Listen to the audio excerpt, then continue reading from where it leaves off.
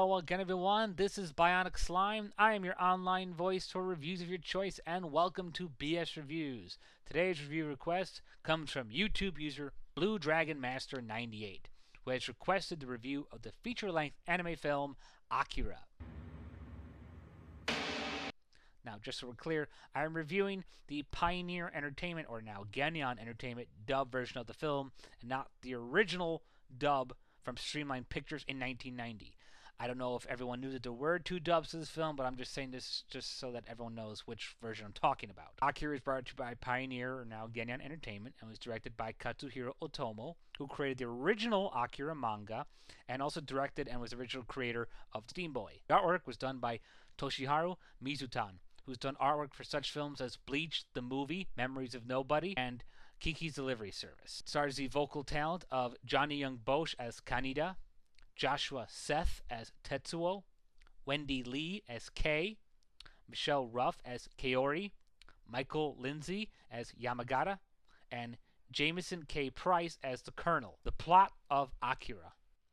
Set in the year 2019, 31 years after the outbreak of World War III, Neo Tokyo has been completely ravaged by all sorts and manner of crime. Criminals, rebels, terrorists, biker gangs are running rampant throughout the city, creating chaos, destruction, and disorder everywhere, eliminating any kind of structure or civilization in this futuristic city. Focusing primarily on the biker gang led by Kaneda and his subordinate Tetsuo, gets into a little accident where he almost hits an escaped mutant psychic child from an organization. The accident triggers psychic powers in Tetsuo himself, who then becomes abducted by the colonel and his secret organization, who is trying to discover the link and understanding of Tetsuo's ever growing psychic powers and if he is at all connected to a past famous psychic phenomenon simply known as Akira. Well, Tetsuo's powers develop rapidly and he breaks free of the organization, going out on a revenge rampage, destroying anyone or anything that gets in his way. Now, Kaneda, Kei, and the military must do anything they can to try and stop Tetsuo's ever growing psychic powers from going out of control and destroying Neo Tokyo and possibly all of mankind. Review of the plot. I'll be honest from the very beginning, I have never ever really been a big supporter of this film. I know a lot of people got their anime start from this feature film, and a lot of big name critics and reviewers have loved this film, calling it an animated epic masterpiece, including Ebert and Roeper, but I personally have never felt this film was all that it was cracked up to be. I think it was trying to be too sophisticated and failing at it with its over unnecessary use of gore and violence, which kind of got overkill after a time. And the pseudo bizarre imagery was cool at times, but other times it felt like it was just inserted for being there because it was weird and not having any kind of actual purpose. But after seeing this film again, I have to say it does keep your interest because it presents a lot of interesting material that compels you to want to see where it's going and what does this all mean, even if they don't explain it that well. The idea of having this punk kid turn into the psychic god is a really neat idea because it kind of misleads you on where the film is going to be. I mean, Kaneda is supposed to be like the star, but in truth, Tetsuo becomes the real focus of the film. And him being the sort of anti hero villain type character, it makes it much more interesting to focus the film on him.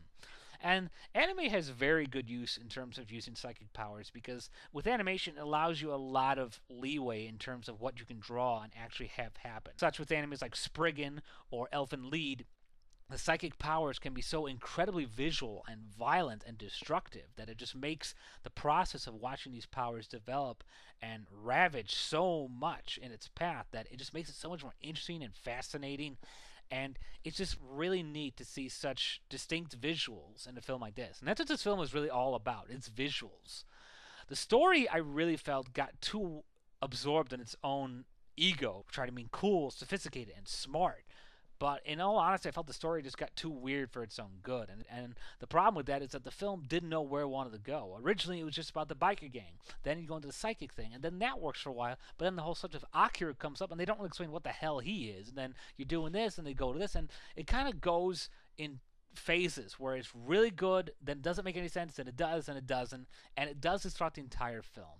All the while, it does keep your interest because these characters have a very dark, compelling story that's going on in front of them. The action is constant and keeps things interesting, but it is hard to keep track with this disjointed, combobulated mess of explained and then not explained, especially with the whole Akira thing. I just seen the movie like yesterday and I still don't know what the hell everything's going on. View of the characters. Again, I like the fact, like I said, that it focuses more on the villainous character of Tetsuo more than the main character, or who you think is the main character, by Kaneda. And it's really interesting that you have that because it gives you a different perspective of how things are going. And when this whole city is already filled with such lawlessness and chaos, it just sort of adds to the confusion of the place, which seems all the more realistic that would happen in a place like this. Joshua Seth, who I will swear to God remember forever as Tai from Digimon, did a really good job as Tetsuo here. I mean, he really got this character villainous style and his suffering and agony down really great. You really felt this character suffering as he started off in this weak little punk bike member into this epic psychic god whose powers just go insanely out of control. And he really gives the character a good sense of transition from just being this little whiny kid to this epic badass. Jonny Young Bosch, always a pleasure to see. Greatest kind of, he had some great delivery, great comedic delivery with this character. He knew how to make things funny, how to make things great, and he just seemed to fit the character's role so well. He just seemed like it was like he just could fit right into that character's shoes. Wendee Lee didn't really do a great job as Kei because her character, in all honesty, doesn't really do much. She offers like a sort of psychic link to the mutant children that are in the film, but other than that, the character doesn't serve as much as a romantic flaring interest for Jonny Young Bosch's character. But she's a good voice actor, so I'll give her that in terms of credit. Michael Lindsay was really good as Yamagata, and again, another Digimon voice actor's in here. And he had a really interesting character, which I'm glad they developed as much as they did, as the best buddy from Kaneda you know, it was really interesting to see where he was going with the character. He was fun, kind of interesting to watch. Not really deep, but still just an okay character that you can sort of click around with. Jamieson K. Price did a really good job as the Colonel. He has a deep, dark voice, so you could think he would sound like a villain, but in truth, this character comes out much more compassionate and you know you empathize with him much more through Price's performance, and I really think he gave a good job with the characters, you know, connection with the the role. Uh, Michelle Ruff was okay as Kaori. She really didn't do much, I guess you can say. She serves as the girlfriend of Tetsuo. In that regard, she did fulfill her job, but again, the character's performance wasn't that really noteworthy, so I really can't just say much on it. View the animation and the music. Animation and music are definitely this film's phenomenal high points. The animation is unlike anything I've ever seen before. It's so dark and yet vividly colorful at the same time, and the fluid style of the psychic attacks just looks so freaking cool. It's just such an amazing visual accomplishment for this film. Even if you're not a fan of the the character design, which I am not. Visuals are just so incredibly well drawn that it just brings this film to such incredible stints of life and magic and mystery, and it just does it in such beautiful masterpiece like qualities. I mean, the animation is definitely a gorgeous, grand step for animators everywhere. Music was really great. It was really weird. I really can't know how to explain the music. You have to hear it for yourself.